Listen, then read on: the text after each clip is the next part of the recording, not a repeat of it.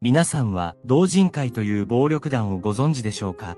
彼らは福岡県に拠点を置く九州最大の指定暴力団で、反山口組勢力の武闘派組織として知られています。また、同人会は山口組と同じく分裂構想を起こしており、一般人を巻き込む悲惨な事件を何度も起こしているのです。今回は同人会と彼らが起こした事件について当時のエピソードを交えながらご紹介していきます。同人会は福岡県久留米市に拠点を置く指定暴力団で構成員数は2023年末の時点で約590人となっており、工藤会を上回る九州最大のヤクザ組織です。また、彼らは福岡県の他に佐賀県や熊本県などにも同系列の組織を置いており、反警察的で構想を好む凶暴性から数々の事件に関与したことで、その名が全国で知られるようになりました。なお、同人会は九州暴力団の親睦団体である4社会に属しており、工藤会、大衆会、熊本会とともに連盟関係で数少ない反山口組組織なのです。ここからは同人会の歴史をご紹介していきます。後に同人会の創設者となる小貝曽路は福岡県小郡市で生まれ、高校卒業後は地方銀行に入社したものの約2年間で退職しました。その後、彼の出生地である小郡市で飲食店を経営しており、バクトでもあったセリキ三郎の部屋住みとして、古賀はヤクザの世界に足を踏み入れます。また、1964年には、警視庁が暴力団に対する弾圧作戦である、第一次頂上作戦を開始し、所属していた福岡県久留米市に拠点を置く木村組が解散したことで、翌年の1965年、古賀は自らの組織である古賀一家を6名の若い種と設立しました。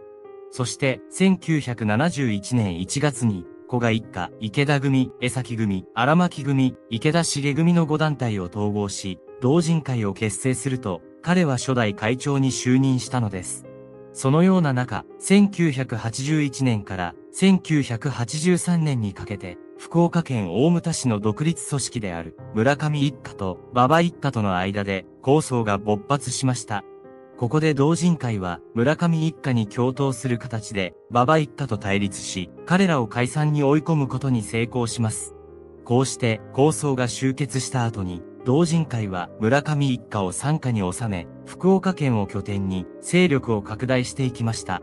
また、ここで村上一家は次第に同人会内で最大規模の参加組織になっていったのです。一方、同人会は1986年7月29日から国内最大の暴力団である山口組との大規模な構想、山道構想を繰り広げていました。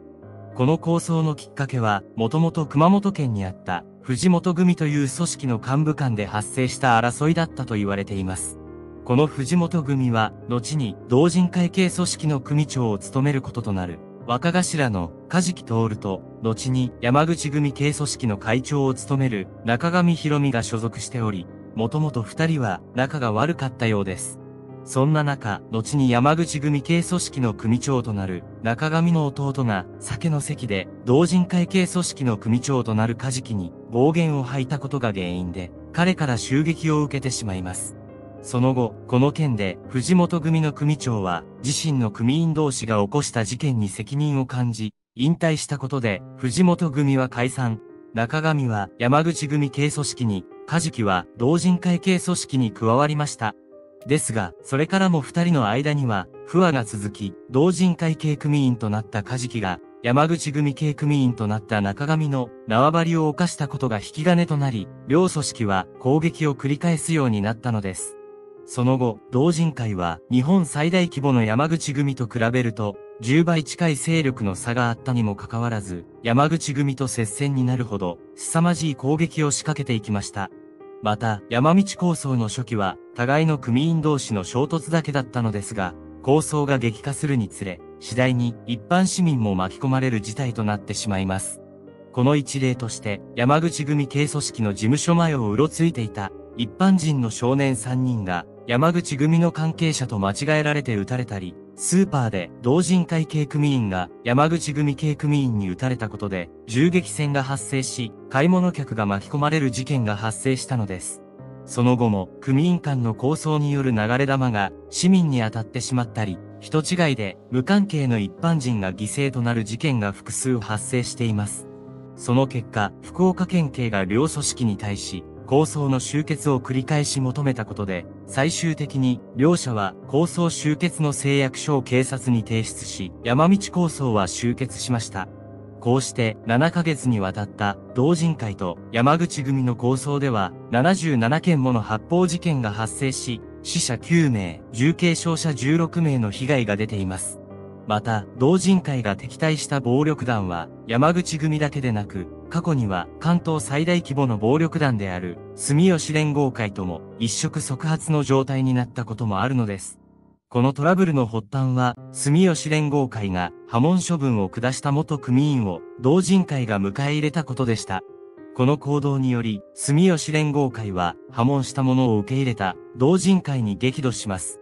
これに対して、同人会の組員らは、すぐさま住吉連合会の本拠地がある東京都内に向かい、そこに潜伏していたことで、攻撃開始寸前の状態までになっていました。しかし、ギリギリなところで、最終的には和解が成立し、大きな構想には発展しなかったようです。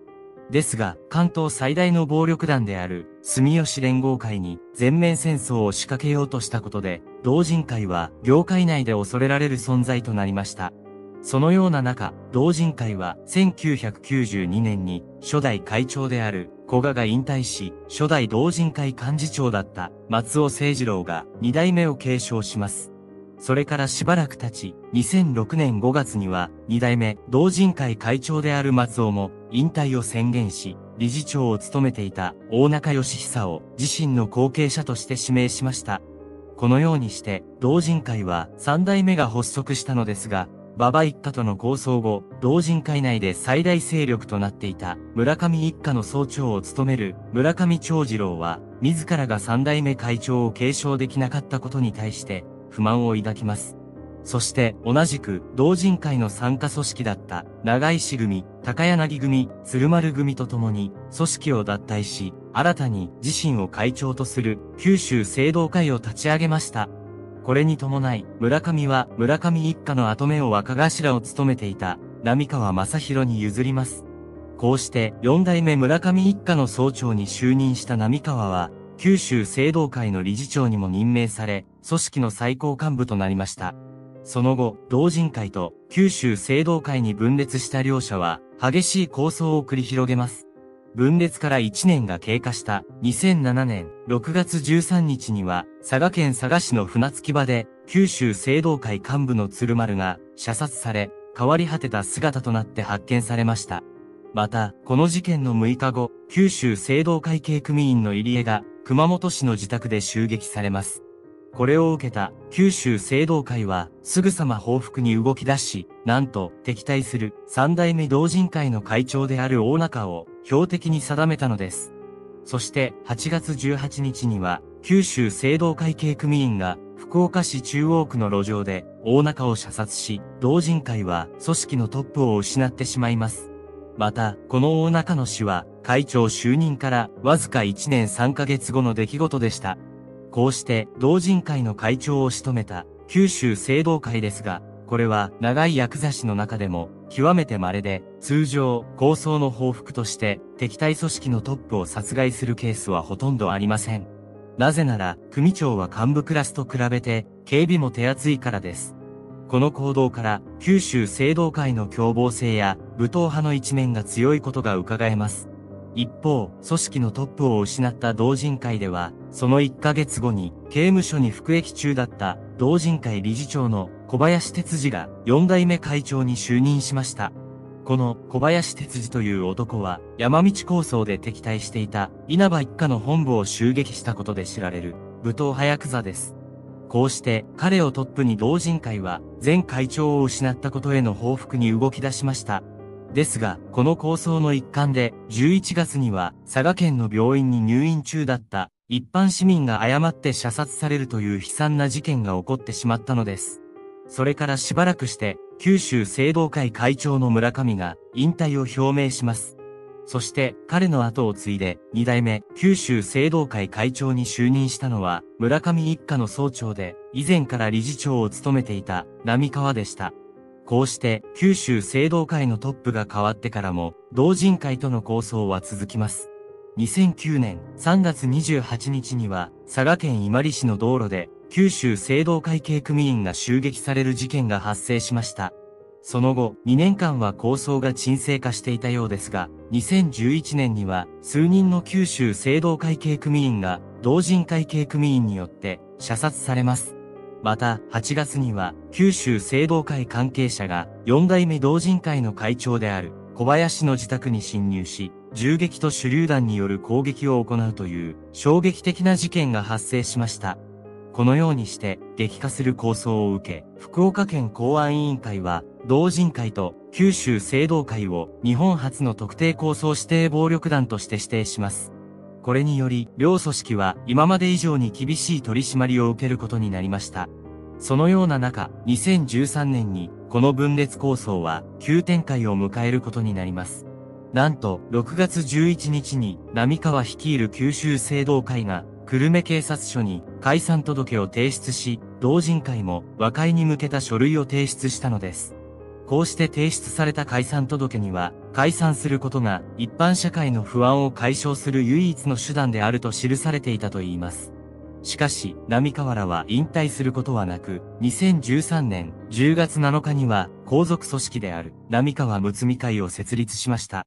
また、この浪川睦美会の構成員は、九州聖堂会の構成員とほぼ同じであったため、実際には組織名を改めただけだったようです。その後、この事実を踏まえた福岡県公安委員会は、九州聖堂会に対する特定構想指定暴力団の指定を浪川睦美会に引き継ぎました。その後、5回にわたって、同人会と浪川睦美会の特定構想指定暴力団への指定は延長されましたが、しばらくして構想が沈静化したことで、2014年6月27日に両組織の指定が解除されています。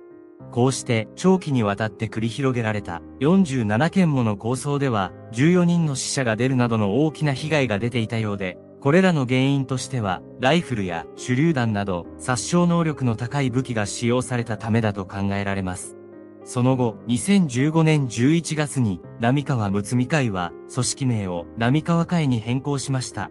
また、この時には、特定構想指定暴力団の指定解除から1年以上が経過していたので、分裂構想が完全に終結したと見られていたようです。しかし、それから2年後の2017年10月19日に衝撃的な事件が起こります。この日、元同人会系組員で、当時63歳だった榎木義明が浪川会の本部事務所を訪問しました。彼は応対した組員に対して、以前懲役で同じだった者がいるから会わせてほしい。と頼みます。こうして、これを受けた組員は、榎木を事務所の中に招き入れました。しかし、事務所に入った瞬間、彼は隠し持っていた拳銃を取り出します。実は、知人に会いたいという話は、事務所に入るための嘘であり、真の目的は、浪川会への攻撃だったのです。そして、榎木は拳銃を抜くと、2回引き金を引き、放たれた銃弾が、浪川会系組員に命中しました。これにより、組員は怪我を負ったものの、命に別状はなかったようです。その後彼は事務所にいた浪川会組員によって取り押さえられ、警察へ引き渡されました。こうして行われた取り調べで、榎木は、構想で射殺された同人会前会長の敵討ちをするつもりだった。と述べています。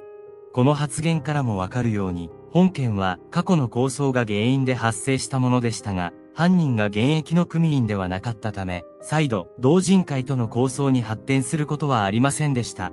逮捕後、榎木は殺人未遂などの罪に問われ、懲役5年の実刑判決を受けています。そのような中、事務所襲撃事件から半年後の2018年3月26日、浪川は浪川会会長の座を理事長の梅木一馬に譲り、自身は新たに設立した総裁に就任しました。